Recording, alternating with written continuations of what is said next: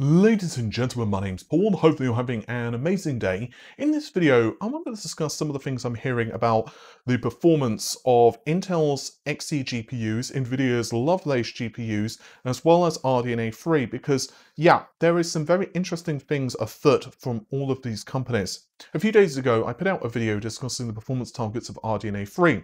One of my really good sources had told me that AMD were targeting a two and a half times increase for RDNA uh, 3 so to put it in another way, the 7900 XT, assuming those naming schemes hold true, will be up to two and a half times faster than the 6900 XT. And this is thanks to a few reasons, higher clock frequencies and architectural improvements, which you can naturally assume, but also the fact that it would have up to 160 compute units thanks to, um, well, the chiplet-based design. And all of that does seem to make logical sense, at least to me. While my sources have had a very good track record in the past, for example, all of the RDNA2 information that I leaked and a lot of stuff for RTX 20, this is not to say that all leaks are going to be accurate. Again, I'm fairly certain on a lot of the stuff I'm about to discuss, but I would still advise, as with any leak, that you take it with a pinch of salt until we get some official type of confirmation.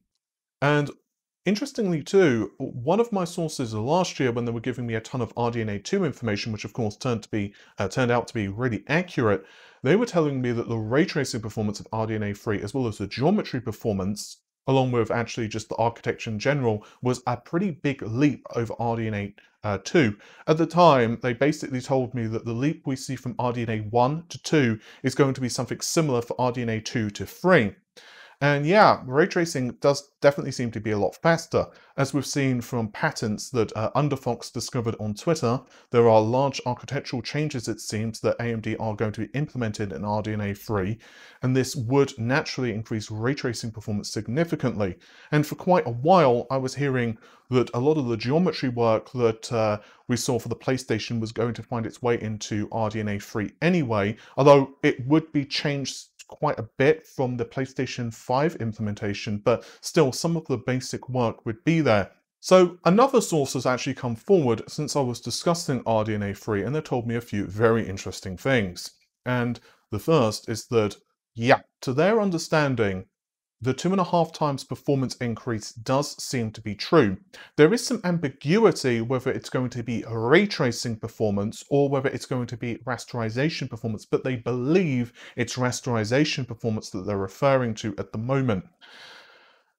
Now, the ray tracing is the really interesting thing because it seems that AMD are going to be much closer to NVIDIA even when we take a Lovelace into the equation, and we'll discuss Lovelace in just a moment. There are some significant uh, performance increases that AMD will be bringing to the table here. It's going to be really impressive to my understanding.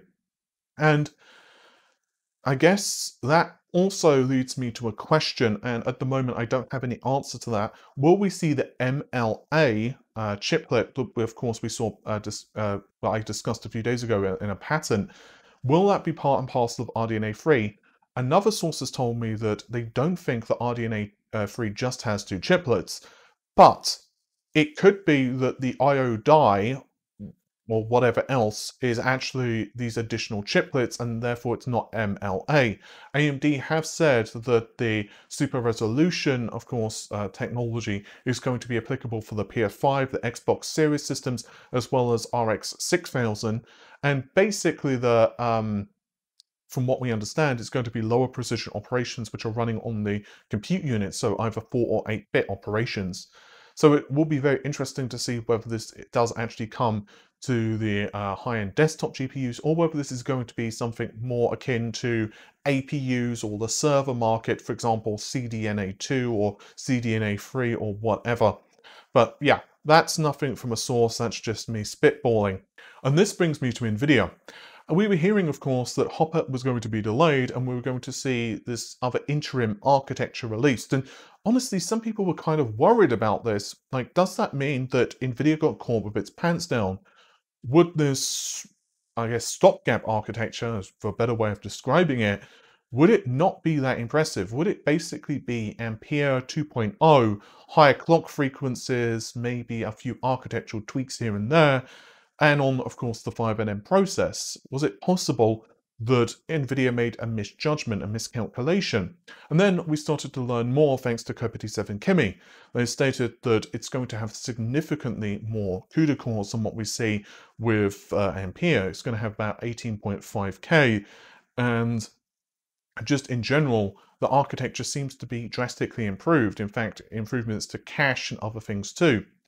So what I was told is that internally anyway, and we'll get to the Intel side of things because I think that's even more interesting than NVIDIA. So to my understanding, NVIDIA were not surprised about the performance targets with RDNA 3. In fact, it fell right in line with where they were expecting AMD to be targeting.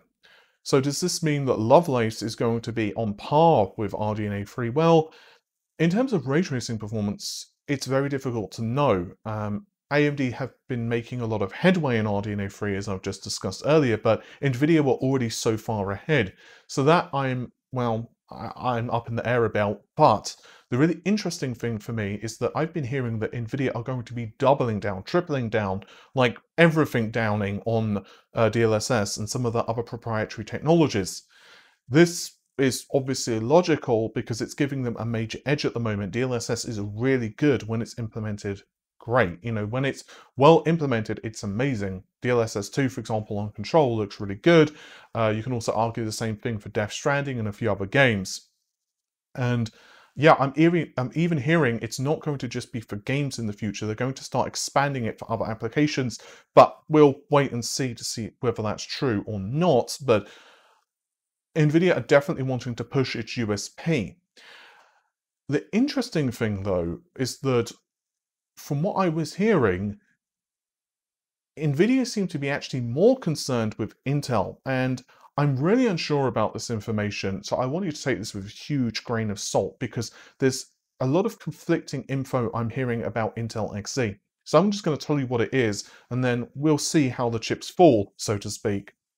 But when Raja Koduri was first joining uh, Intel, the actual design for well, what will become of the Intel uh, architecture was very different. It had basically been designed to be like a video accelerator. That's not new information. We've known about this for a while.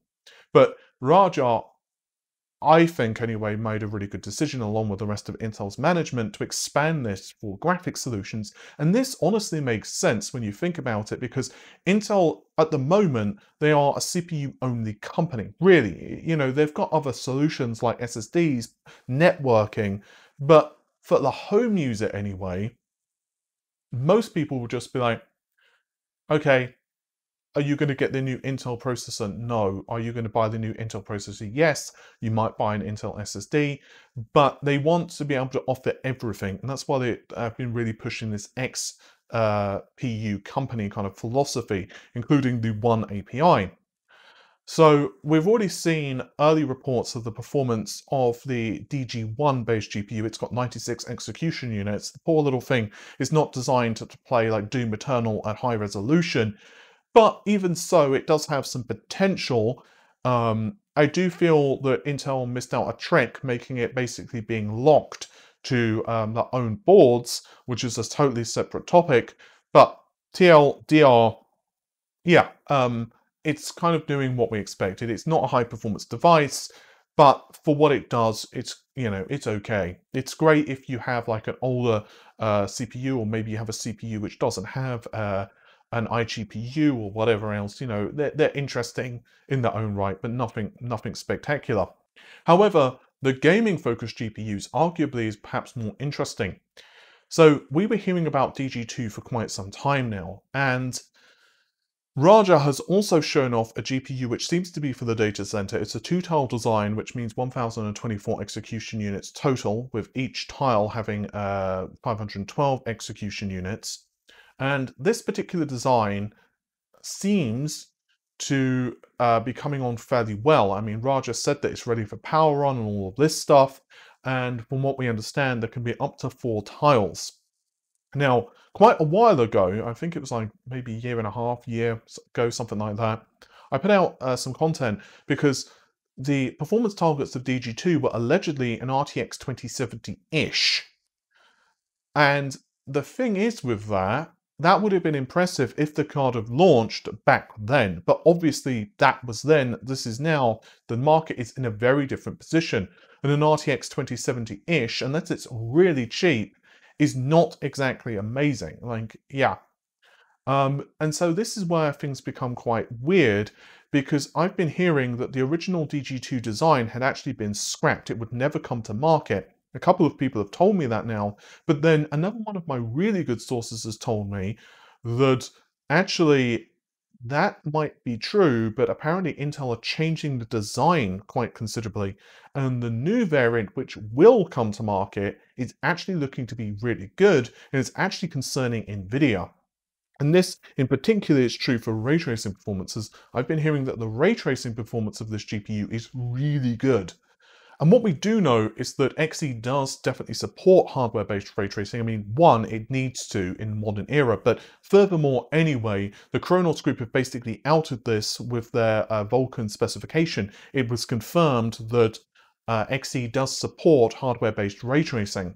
So to my mind anyway, it's going to be a really interesting next generation of GPUs because if it's true about Intel Xe, well, I don't necessarily know if they're going to be outperforming AMD or uh, Intel's highest end SKUs, but they could be very competitive, particularly when it comes to ray tracing.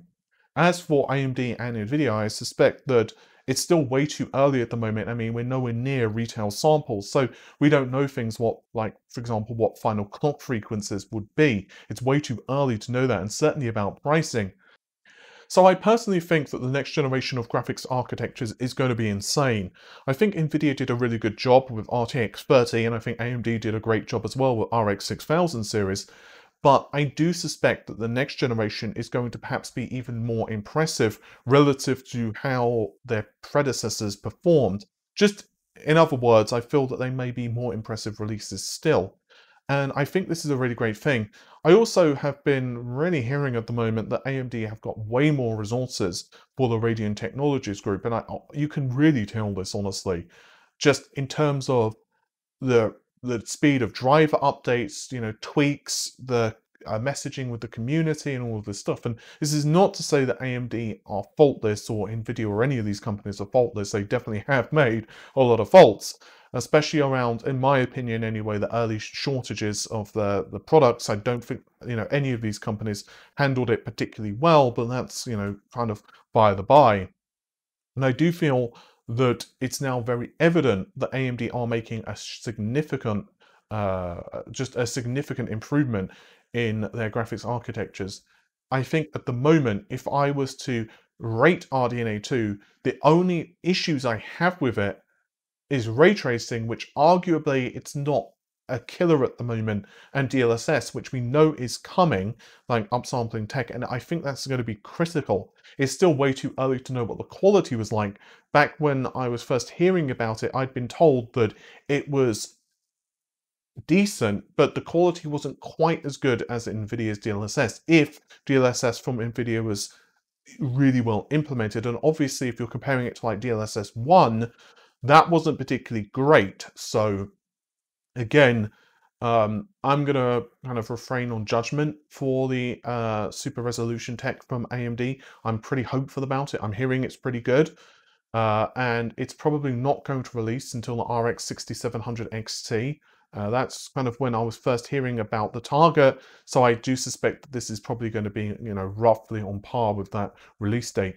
And one last thing before I let you go, um, the performance targets of the RX 6700 XT I recently was discussing and said that it's faster than the RTX 3060. And this is actually not quite accurate.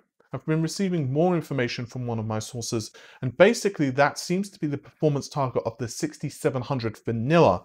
The RX 6700 XT, though, is apparently faster than the RTX 3060 Ti.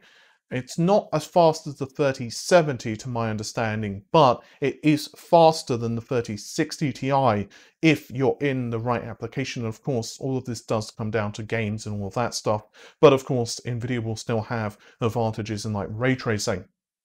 But I think that's just about it for this particular video. Hopefully you have enjoyed it. The normal stuff if you did, like, share, comment and subscribe. And of course, subscribing to the channel helps us out a ton.